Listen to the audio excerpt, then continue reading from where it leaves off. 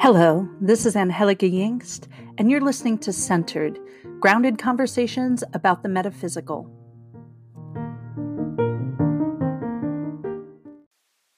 Hello, welcome to Centered. I am Angelica Yingst, your cruise director. So, today is a solo episode. I'm doing another Q&A episode. I'm going to try to do these at least once a month because I love questions. I've been answering questions at my job at Hibiscus Moon Crystal Academy for the past eight years. I do think my perfect job would be a travel writer and an advice columnist. So, if anyone's willing to pay me to travel around the world and write about it and then ask me questions, I'm here for it. Okay. I'm here. Uh, just saying. But no one's asked me to do that at any rate. If you're friends with me on Facebook or you follow my page on Facebook, I will put up an Ask Me Anything meme um, I'll put one up on Instagram. You can submit questions under that. You can send me an email about questions. You can record, uh, comment, or question on my anchor page, which I love. Um, I love hearing your voices.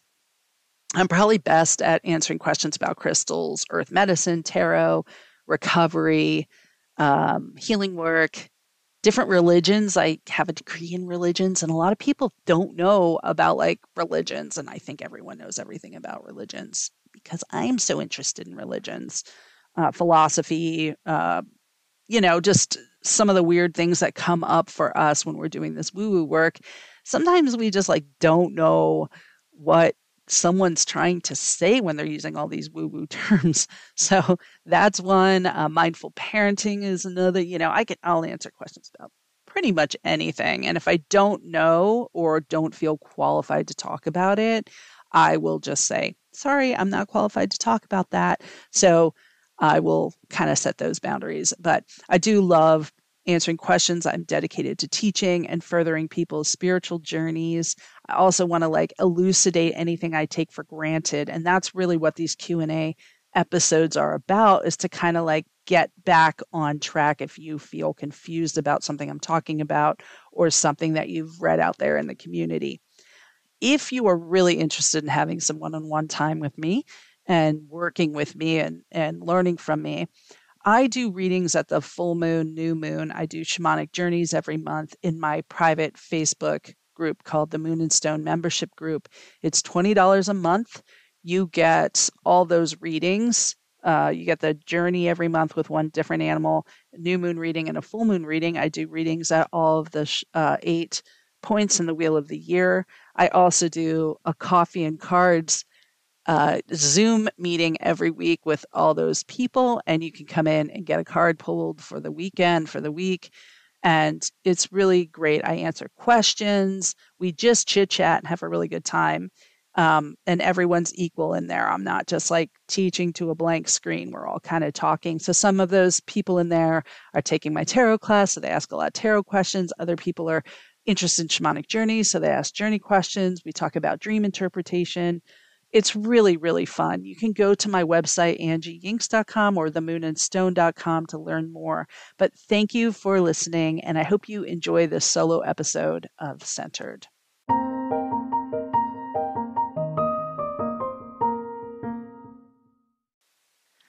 Suzanne asked this question Is there a card that is always a little difficult to interpret when it comes up in a tarot reading? Conversely, is there one or multiple that are easier? So it's interesting because I think this question is different for every single person. Like there's always cards that challenge people. And when I'm in tarot class and I'm teaching people about the cards, some people are like, oh, I hate that card, you know, or oh, I love that card. I think, you know, one of the things about this is just like looking at why. For me, I used to really dread getting the Two of Wands and the Three of Wands, especially if they came together in the same reading, which they always seem to do. And because they they sort of look the same to me, they represented the same thing to me. No matter how many books I studied, no matter how much I read about it, I just found them to be like blah, boring, hard to read. And part of it is because they have very similar imagery. The Two of Wands has a guy standing on his castle top holding one wand and holding the earth and you know the world or a globe in his hand and he's looking out over supposedly his kingdom or whatever And um, he, you know, I just used to say, like, okay, he's, you know, contemplating what to do. And then the three has a similar one. There's three wands. Now he's overlooking, and you see these ships going out to sea. And um, I used to just get sort of caught up in just how, like, eh, it's time to look at the future, think about the future, blah, blah, blah, blah, blah. Um, now I kind of, because I used to struggle with them so much, I really started to look at the imagery and, and get into it. So I think for, for me, like all those cards that are hard to, to interpret sometimes, I've gone like on deep dives with and tried to become intimate with. So for the two now, I see him kind of looking at his past because that's all he has. He's sort of new on this like empire building mission that he has. And that can mean anything for people. It can be, hey, I'm starting out my job and I'm contemplating like where to go. I don't know where I should point to. So for me now, the two is just about making a decision where to put your energy. And so you're only kind of looking at what you've been through. It's like you're using your experience as the way to make a decision. And um and this gets kind of into like what do I like to read? Um, I love to read questions where people ask me, I need to make a decision. I have this this path to go down eh, or this path to go down. Um, and I love doing those kind of readings because I will pull a card for one choice and then pull, or I shouldn't say a card, I pull a whole reading for one choice and another reading for the other choice. And I keep them exactly the same. Like I try to make them like, if I'm going to do a four card pull for that, I do four cards on both sides. Because then that person can now make an informed choice about what the energy would be like if they choose this path or what the energy would be like if they choose the other path. And I think that tarot is really great at elucidating, elucidating the differences. Because often, like when we meditate or ask spirit, like, which choice should I made, make? Spirit's like it doesn't matter. You're still going to get to the same spiritual place. So you want to see what is that path like and what is this path like you know? You're going to make meaning out of it because that's what humans do. We make meaning out of our experiences.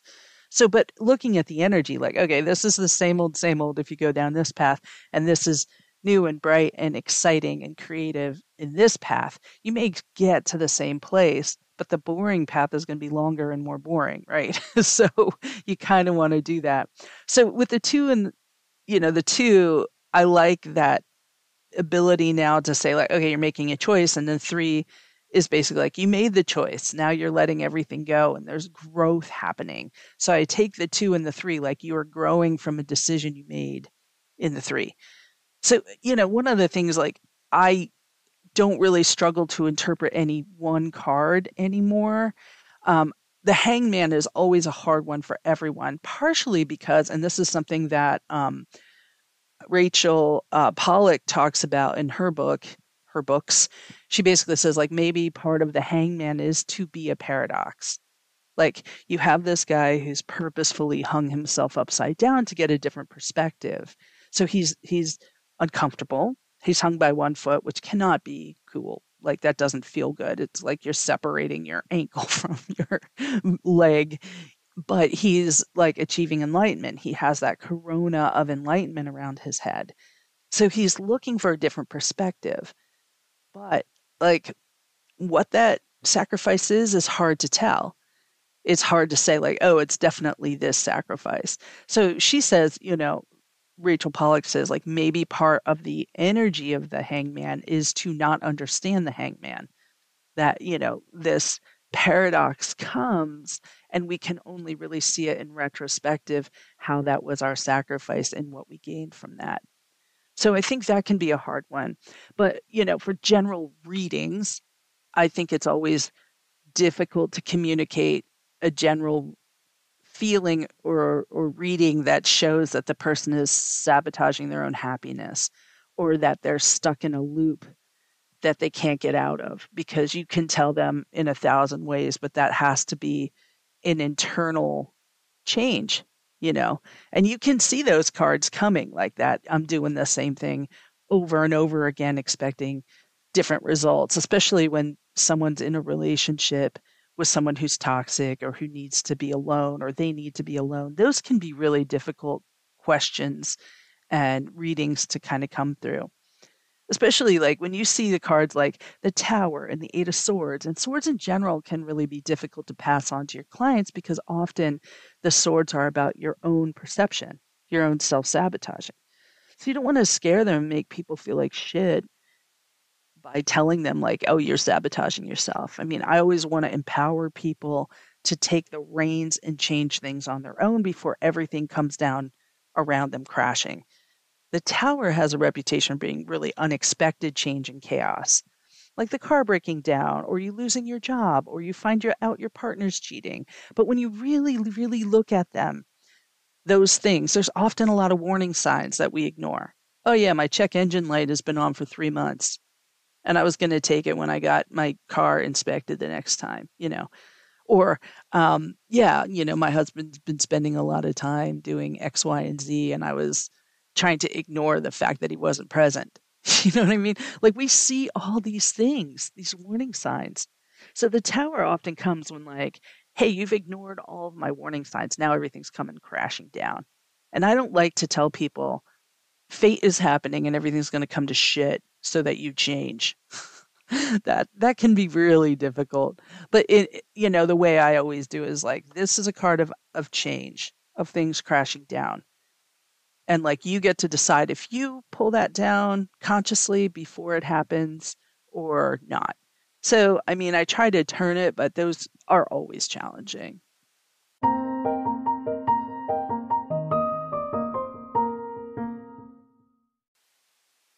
Han said, Stage cards confuse me, and it would be amazing if you could talk about how to integrate after shadow work, which I love.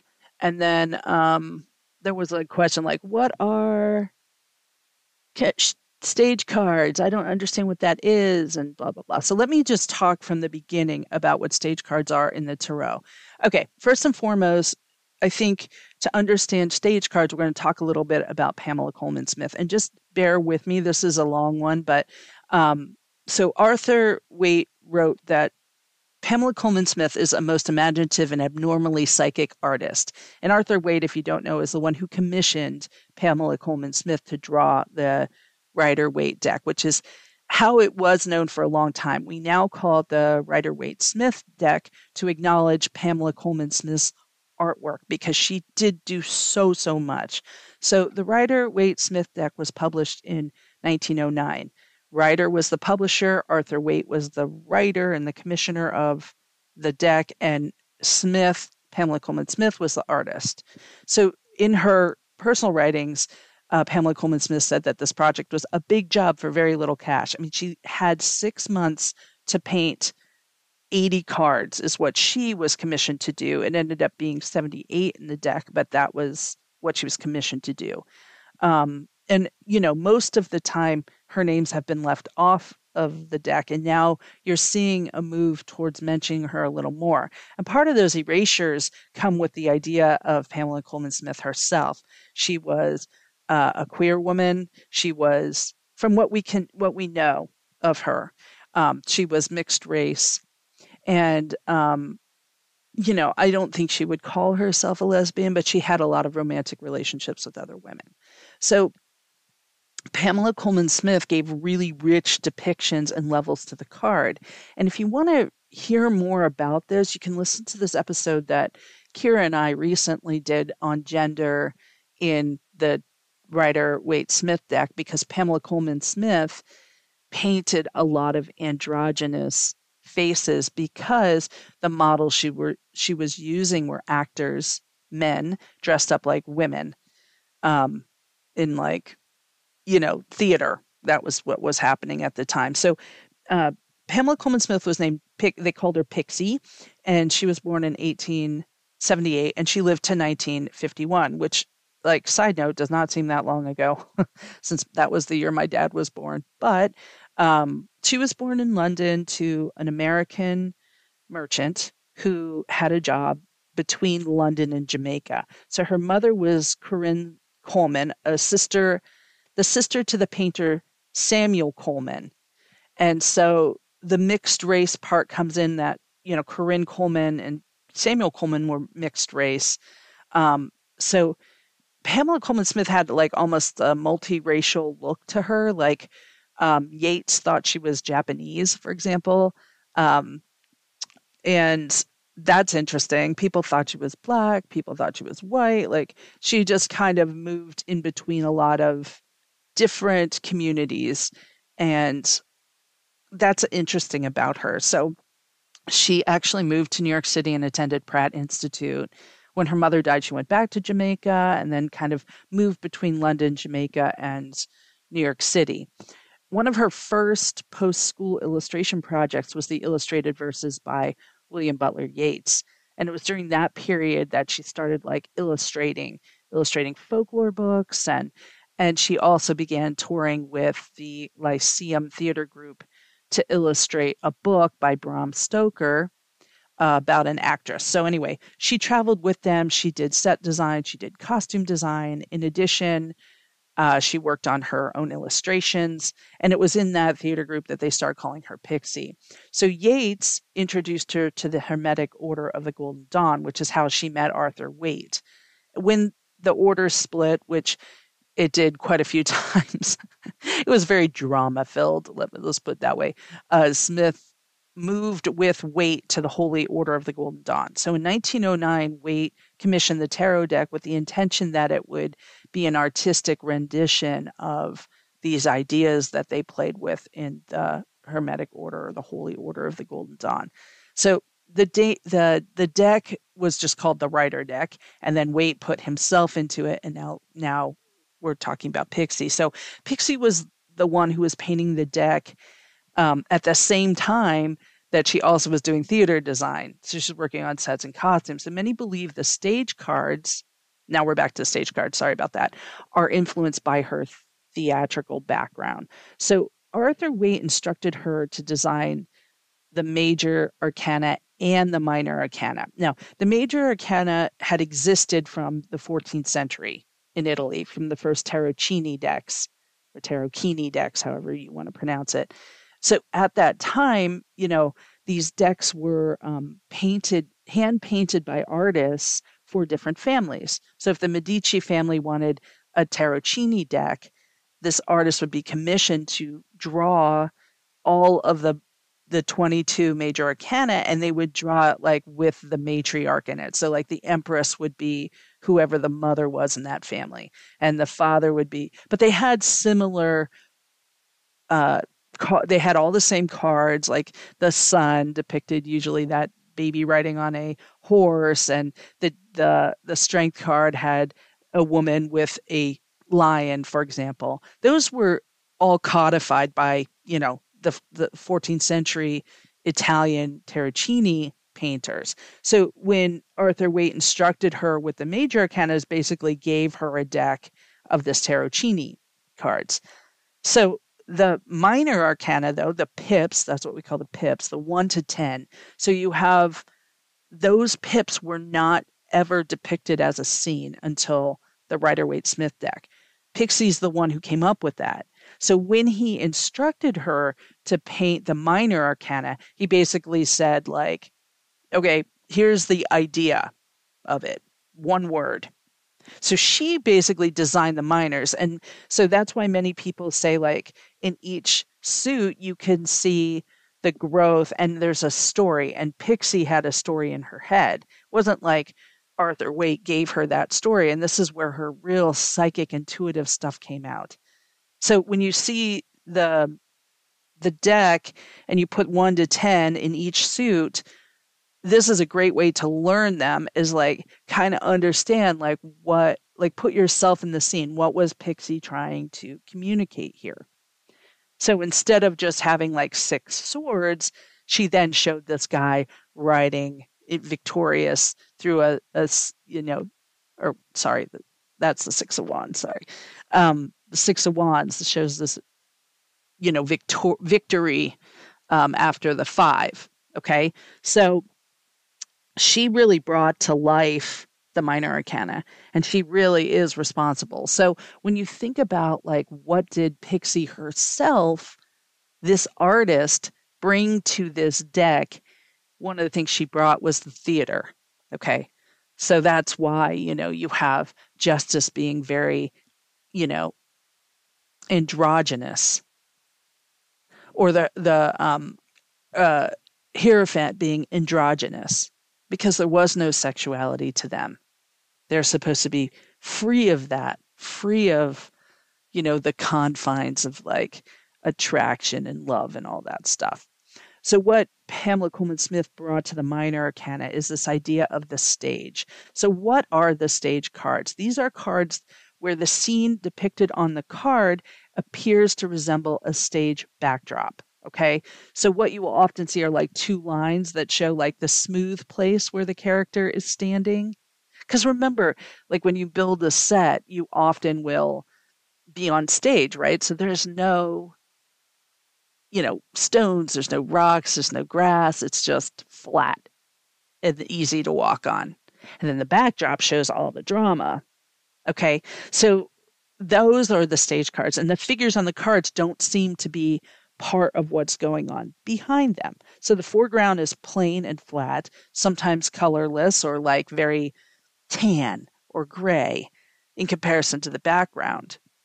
And so when you're doing this, like a lot of times tarot re- readers and teachers don't even talk about this. They don't talk about stage cards because not every person uses that aspect. They just take the card as is. And I honestly don't use it every time. I do I do look at the reading at hand. So it's just that sometimes the stage seems really important and sometimes it doesn't. So when Pixie painted some of these cards, and not all of them, but some of them where it looks like they're on stage. Why? What was she trying to communicate to you?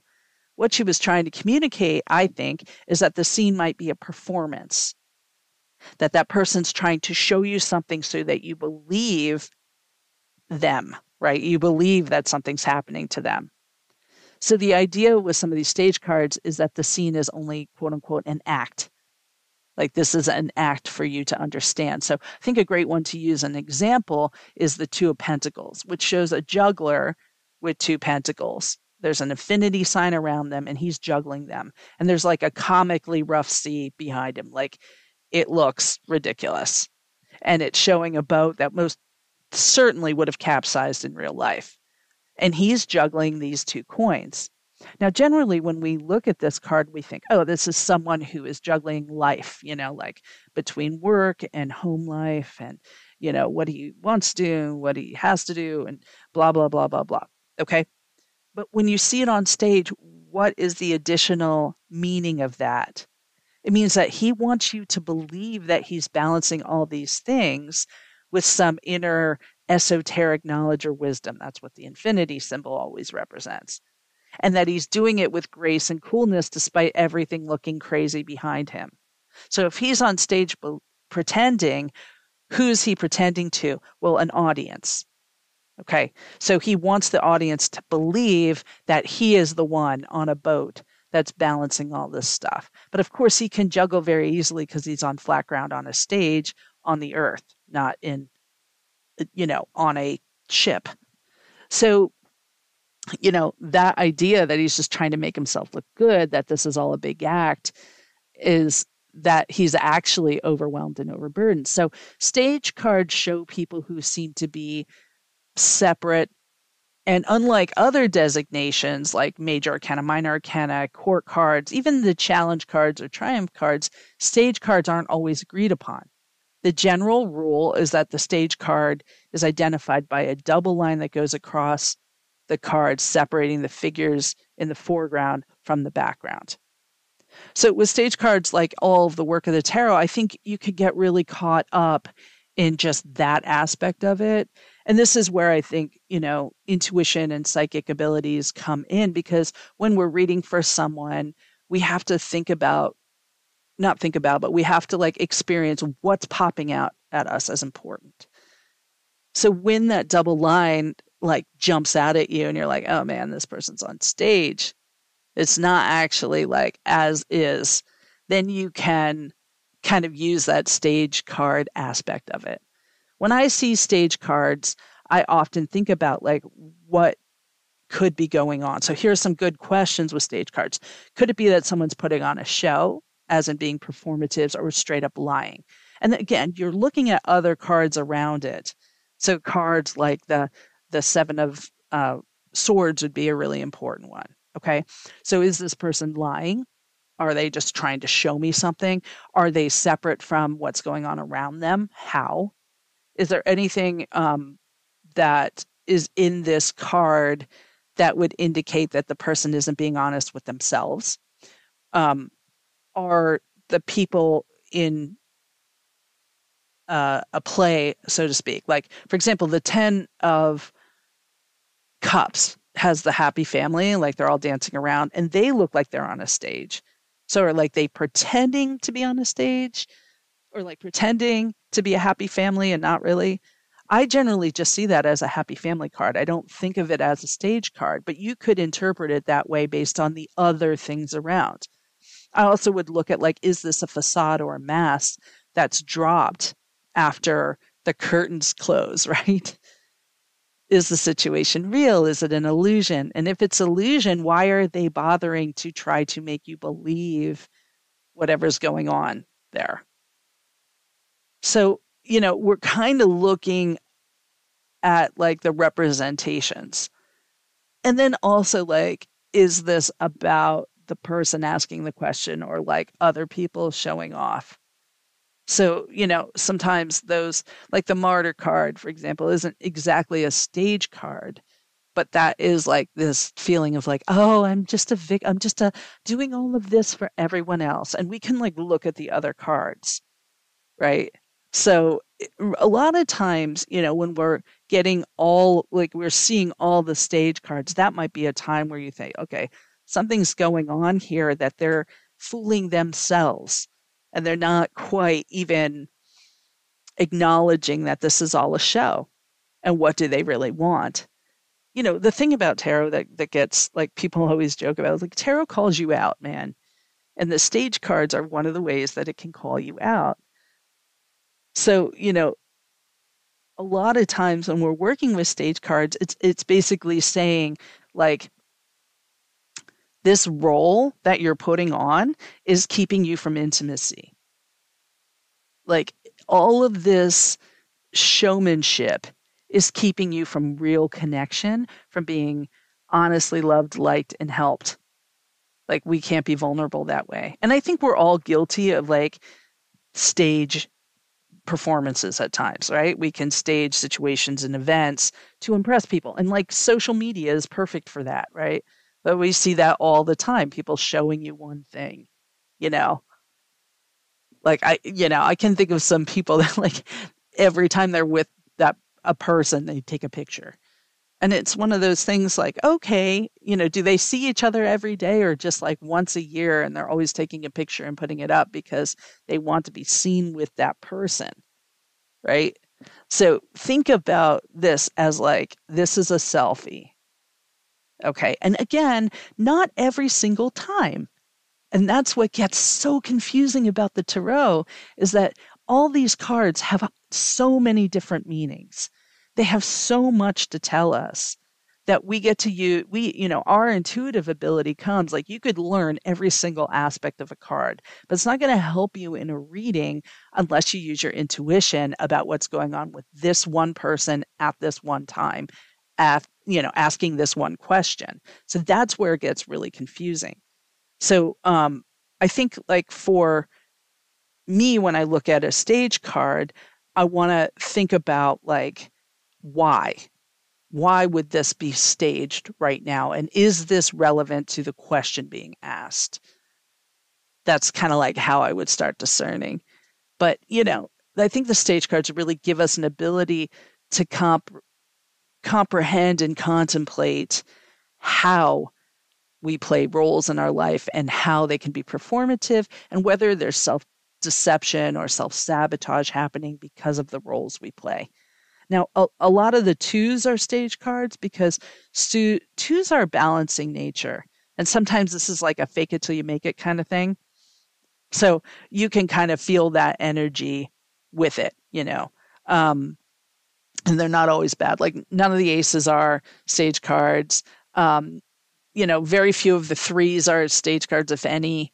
Now I'm thinking about it. You know, so just thinking about that. something like the Four of Wands, which is the card of like marriages and rites of passage, like that is obviously a stage card. You're doing this performance because you're doing a ritual of moving from one phase to the other. And that's a positive thing. It's always a good thing.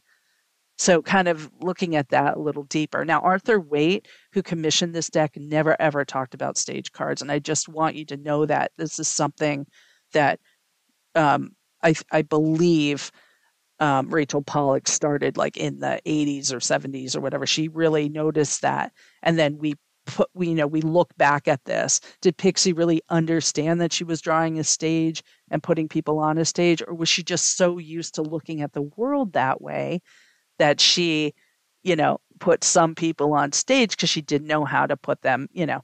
I happen to believe she was very, very conscious of the fact that she was putting people on stage and having them be a, in a performance because that changes the meaning. But, you know, that's me projecting like what I think Pixie's conscious thoughts were. And I think a lot of this was very, very intuitive.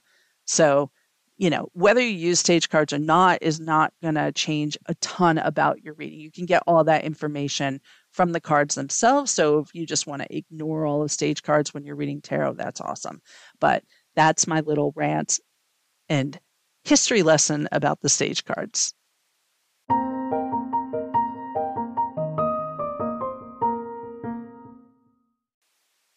So I have a couple questions about astrology and planets and retrogrades and the moon.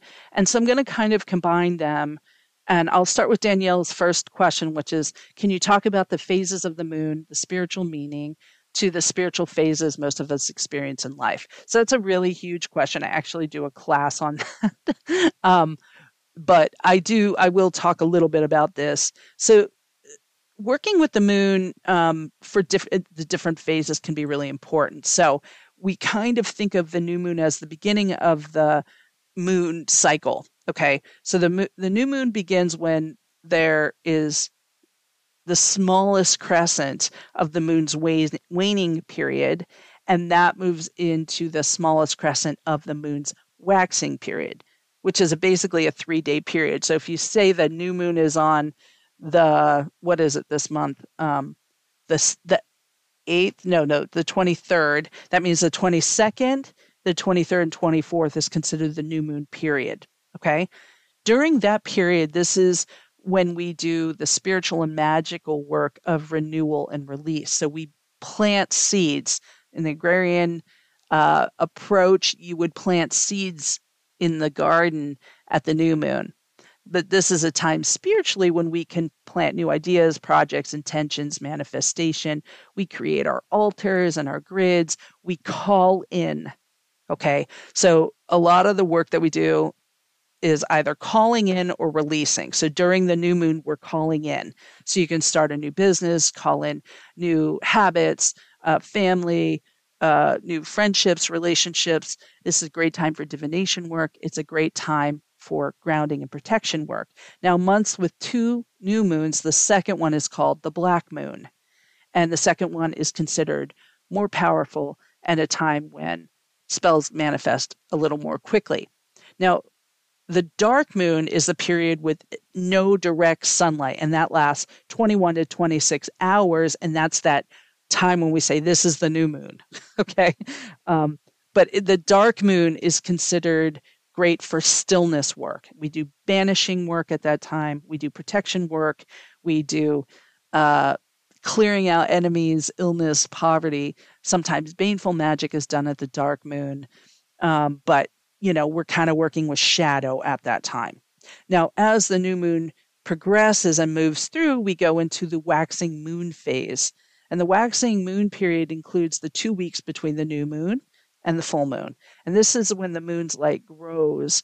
And it is said that so does your fortune. Okay. This is a great time to connect with any growth work, any expansion work. I want to build my business. I want to build my relationship. I want to build my uh, self love. It's a great time to connect with animal medicine and elemental work. Um, so it's all about growth. So growing a business, like I said, drawing new people to you, building friendships, encouraging prosperity, we work with these ideas of courage and motivation and inspiration and patience and healing. So we're growing. Then we're moving towards the full moon period. Now, within that um, new moon, that that waxing period, okay, we call it the waxing moon. We have the waxing crescent, then we have the first quarter moon in the waxing moon. That's great for spells of growth, courage, motivation. We do abundance work, build momentum. Then we move into the waxing gib- gibbous period, and then we go to the full moon time.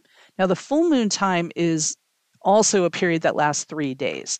On the middle day, the moon is at its widest, fullest light. That would be the day and time that people give you for the full moon in your area. Okay.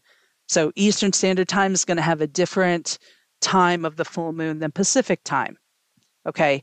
The full moon is when the moon is at its widest and fullest, but the full moon period is the three days the day before, the full moon day, and the day after. So you can do all that spell work within that three day period. The full moon is a time of culmination and harvest. So you often have the most clarity during this phase. So you know what goals you're working with, what steps need to be taken. We often see also all the shadow stuff coming to light, which means like when we set an intention at the new moon and we see it grow through the waxing, at the full moon, we should see what's blocking us from getting that intention. Okay. Because often intention work isn't about calling in a ton of new stuff. It's usually about releasing the thing that's blocking us from making that happen. Okay. So the full moon's a really good time for releasing Okay. And we do a lot of releasing work at that time. But this is also a great time for your magical, spiritual, and healing work to be around spirituality, protection, drawing down the moon, healing work, psychic power and divination, decision making, luck, success, and change.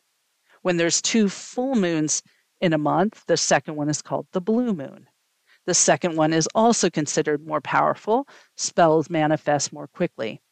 Now there's 13 full moons in a year. So you know that, you know, blue moons happen. They're going to happen. And usually that's why, you know, we have this changing time like you don't always have the full moon on the same day of the month every year every month, right? You don't have it on the 15th every month. It changes because it's a 28 day cycle. Okay.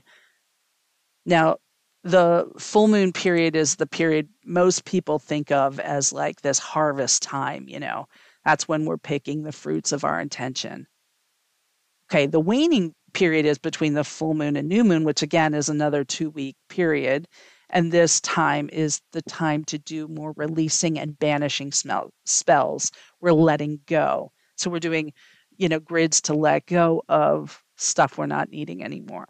We can do losing weight spells, uh, releasing habit spells, breakups and endings. We can do transition spells. We can just release, you know, pain, release anger, release whatever.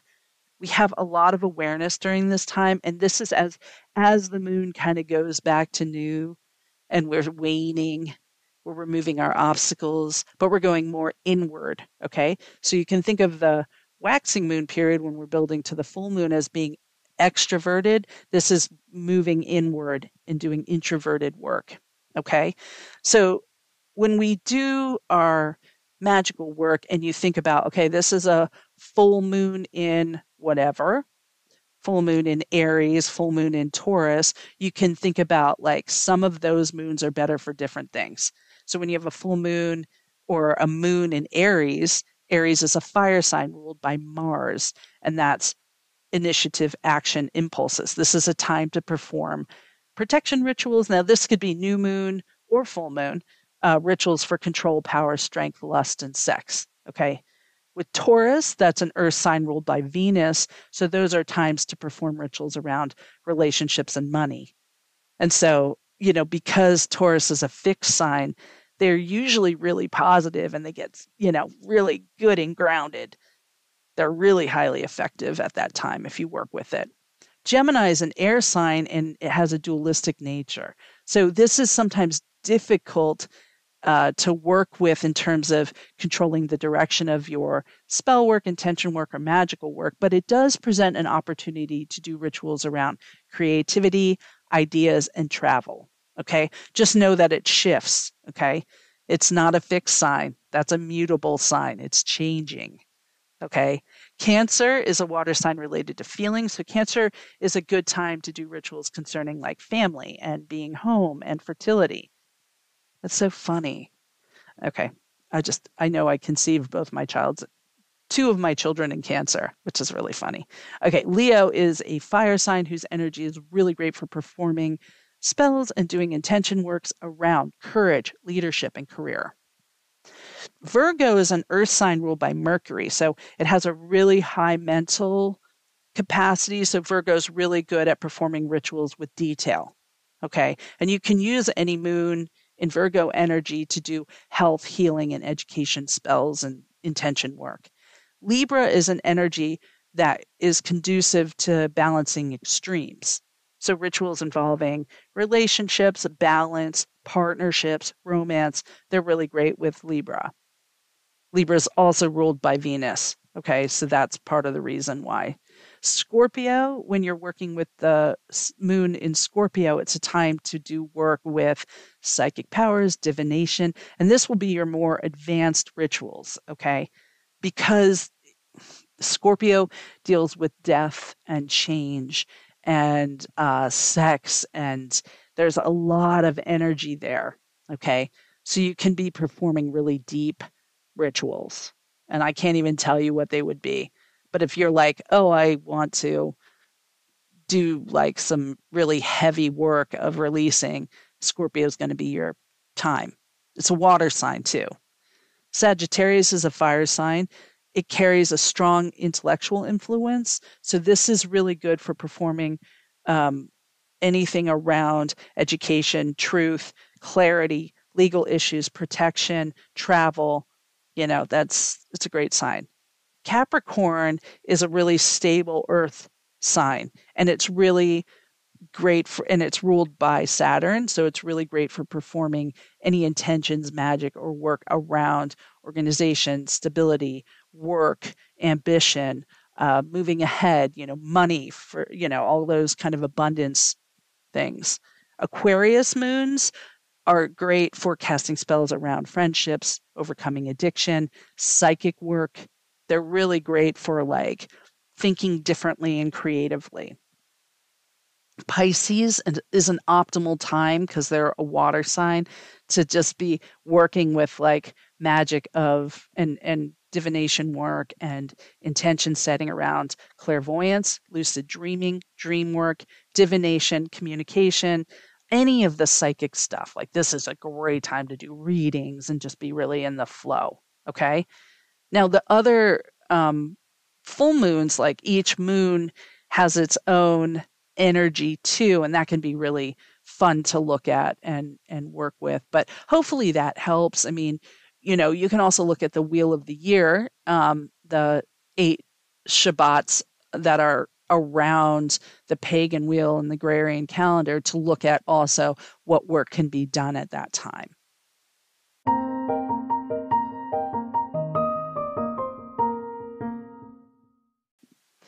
Suzanne asked, and, and Danielle also asked this, but Suzanne asked, I know this info is probably somewhere, but can you talk about what retrograde means? And then Danielle said, like, what are planet retrogrades and the impacts they have? Okay, so let's talk about retrograde um, because I throw that around a lot. I know what it means. I know a lot of a lot of people just assume you know what it means, but retrograde means basically from an astronomical perspective that a planet appears to be moving backward in the sky. Now, the key word here is the word appears because that's not actually what's happening. Planets don't slow down, they don't stop and change direction. What we're basing this on is that everything is happening from the perspective of you being on Earth.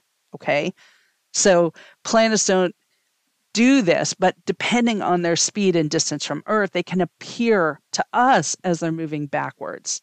Okay. And again, this is the snapshot from Earth where you are, which is why when people ask for your astrological birth chart, they ask for the exact time and where you were located because it's based on where you were located on how you saw the sky or how what the sky looked like at that time. Okay. So, like, for example, I was born um, at, you know, a certain time, but I'm an identical twin. So I, I am six minutes younger. Suck that, Kelly. Just kidding. Uh, my sister's Kelly uh, is born six minutes older than me, right? But our charts are like almost identical. I recently did this. I I printed the or kind of put them both on a sheet and I compared them. And the only difference is some of our planets lie in different houses because in that 6 minute difference the sky changed. Okay? So in reality, like my sister and I are like a lot of similar things but we're so different in other ways. And it's because of where our planets lie in what house. All right. Now, that doesn't have anything to do with retrograde, but just interesting to note that anytime you're thinking about astrology, it's where you are in relation to the planets. Okay. That's important. So, the best way I can explain retrograde is that it's like when you're at a stop sign and someone drifts next to you in another car drifts forward and you're on the brake, but because they're they're changing, it may feel like you're actually moving backward and it actually have that like sinking feeling in your stomach like you are moving. Are you moving? No. But your perception perception is altered due to the difference in speed with your card and the other card. So this is similar what happens with retrograde because of our planetary movement and that planetary movement it looks like the planet's moving backwards and it can feel like you're moving backwards. So generally, retrogrades are times for reflection. Issues can arise because that that unnerving feeling that you're moving backward. Okay. So astrologers tend to recommend that this is a time to like reflect on the past so you can evaluate what's happening in the now. Now, planets are different with retrogrades. Like some last longer. Some happen many times a year. For example, Mercury goes retrograde three to four times a year. So we're going to hear about Mercury retrograde a lot. And the planets closest to us affect us more deeply Mercury, Mars, Venus. Those retrogrades tend to bring the issues, people, and opportunities back around to us. Okay, so it's almost like past stuff comes up in our present so that we have to deal with it. Now, because Mercury represents communications, learning, thinking, how we talk to people, how we hear things, um, reasoning, Mercury comes up and we're encouraged to do that communication work during Mercury retrograde. We're not, we're encouraged to not sign any contracts, for example, to like withhold our that email that when we're really angry, you know, till after Mercury retrograde. Just sit on it for a minute. Okay. When Venus goes Mercury, uh, goes Mercury, when Venus goes retrograde, which happens approximately every 18 months and lasts for six weeks, we're looking at love life because that's when Venus rules. So we often are looking at old relationship issues that we thought were done that kind of come back around. And we kind of look at like comfort and self care and all those things. So, you know, uh, Mars, which is retrograde right now, is a planet that deals with like our anger and our way of like moving forward, right? Um, it is an interesting retrograde because we have to look at like what gets us angry. Those are our teaching moments, you know. So when Mars goes direct, we end up having like a really good focus on how to like achieve our goals and what we've been struggling with and why it's important for us to either move through that or to release something around it. Now, when Jupiter goes retrograde, it is about a third of the year that Jupiter goes retrograde, and it's 120 days. It's not going to affect us as much, but Jupiter is said to kind of bring that luck and and abundance to wherever it is on your chart. So Jupiter is one of those gentle retrogrades because the goal is just to like bring us goodness so it kind of like helps us get a like jump start on that place where jupiter is in our planet so it reminds us to like keep working towards our dreams okay and we look at complacency during that time now neptune retrograde which is one of the farther you know farther out spends 23 weeks every year in retrograde. That's like 43% of the year. And when in retrograde, Neptune teaches us how we deceive ourselves, how we suppress our fears, how we manage our anxieties, how we are attached to things that are unhealthy for us. So when Neptune's moving direct, it it can distort reality um, in some ways because it kind of puts on these like rose colored glasses. In retrograde, it kind of makes us see clearly, take off those glasses and just like take what's happening. So sometimes Neptune retrograde can be very welcome because it helps us clarify um, what's going on. Saturn retrograde is similar to Jupiter in that it's like a third of the year it's in retrograde. So this when we we see retrograde, some astrologers like will be like, "Oh, thank goodness," um, because Saturn is a taskmaster, and it sort of like is all about the rules and keeping us in line and how to accomplish our goals, and it sort of like is always about structure, structure, structure. So, you know, when it goes retrograde, we get a little bit of a lesson. Uh, sorry, a break from those lessons, and it helps us to kind of be a little um, less task mastery with ourselves. Now, Uranus retrograde is sort of the revolutionary of the zodiac. It's 22 weeks in retrograde during the year, and that helps us take like a break. Okay, we are like not always being like the revolutionary during those times, and it can be very helpful. Um, it's a good time for us to kind of like look at our energy and and look creatively. So Uranus is great. It's it's a ch- it's a changing it's a planet that causes change. So you want to look at it where it's at in your chart, but also when it's retrograde, it helps us to just be like present with what we're going through. Now Pluto retrograde. Now Pluto is one of those planets that you know they said is no longer a planet, but astrologers still use it as a planet in your chart. And Pluto is like half the year in retrograde. And so Pluto, you know, we evaluate our relationship with power. So, like, how are we stepping into our power? How are we stepping away from our power? All of those things. So, it's really important when Pluto's in retrograde to like be thinking about our relationship to power. So, that's kind of the retrograde skinny. And I hope that helped. Helped.